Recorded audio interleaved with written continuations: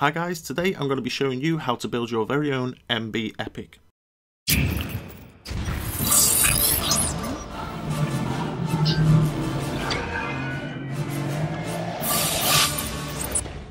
So let's get straight into the build process. We're going to use this bottom plate first. We're going to use our 12mm spacers. Don't get them mixed up with the shorter spacers that are used for holding the arms on. Using a 2mm Allen key screw, you can now attach these spacers to the plate.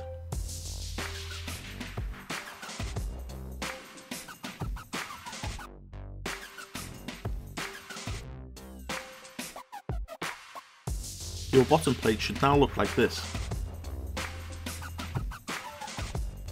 The remaining holes that you see are for the arms.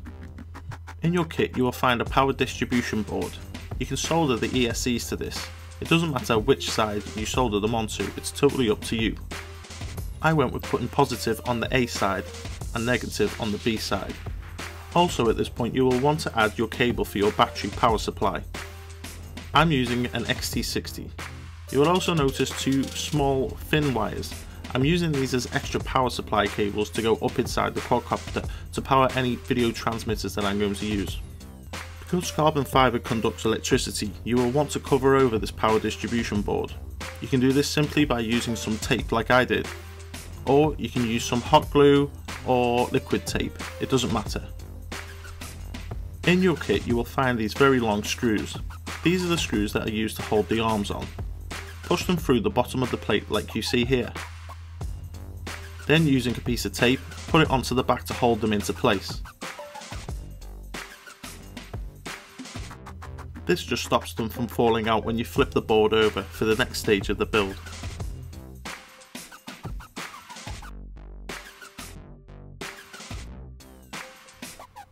Now you can place those four arms onto the screws which you've just put into the bottom plate.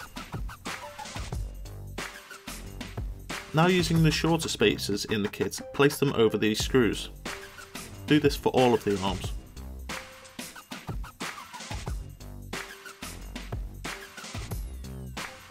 Now let's arrange our speed controllers onto the plate. Now we're going to thread these cables through that centre hole on our second plate. You may be able to notice on the second plate that I've already added the rubber isolation dampeners and the blue stopper posts.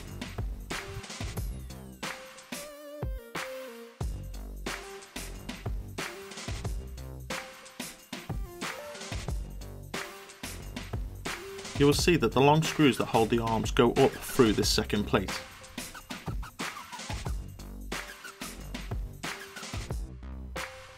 Now you should have your four ESC cables, your one power cable for powering anything on board, and your battery plug cable.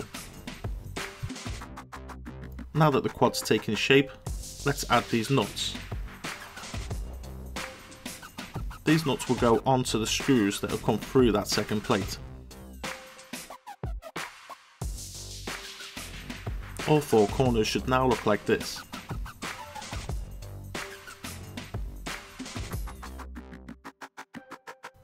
You can now remove the tape that was holding these screws in place. Make sure that the arms are now nice and tight. Now that that's done, use the 2mm hex screws to screw through the top plate into the spacers.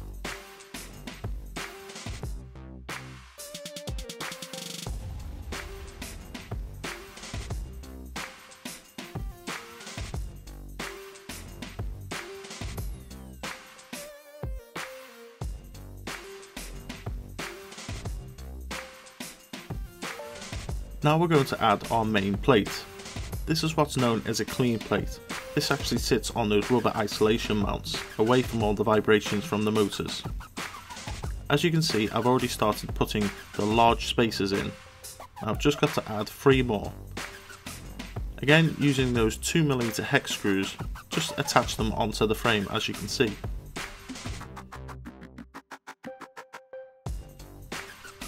It should look like this when it's done. A lot of people like to customize the colour of their quad. A handy thing to do with these posts is actually to add heat shrink on.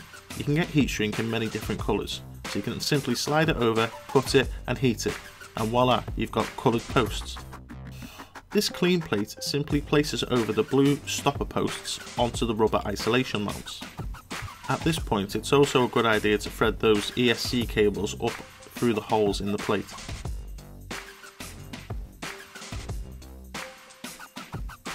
Here you can see how these rubber mounts get rid of the vibrations and the blue stopper is there to stop it from falling off should you have a crash. Just add 4 of these bolts to stop it from coming loose. I actually swapped mine out for some nice chrome ones that I had in a box. Here I'm adding the cap to the stopper. It's just a small donut washer with a 2mm hex screw you can see how this plate will work should you have a crash. The plate will lift up and the stopper will stop it from actually coming off of the rubbers. You should now tighten these nuts down. As I mentioned, I swapped my nuts out for some nice chrome nuts. Here you can see the dirty plate that will have vibrations and then our clean plate that sits on top of the vibration mounts. Here you can see how the stopper will work.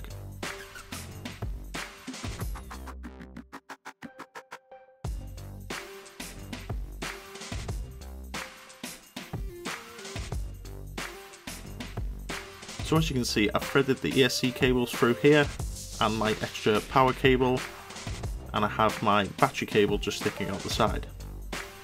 All that's left to do is add the top plate on and that's the basic frame finished. But to completely finish this we need to add our flight controller and screw the motors onto the end of the arms. The flight controller of choice for this quadcopter is the Naze 32.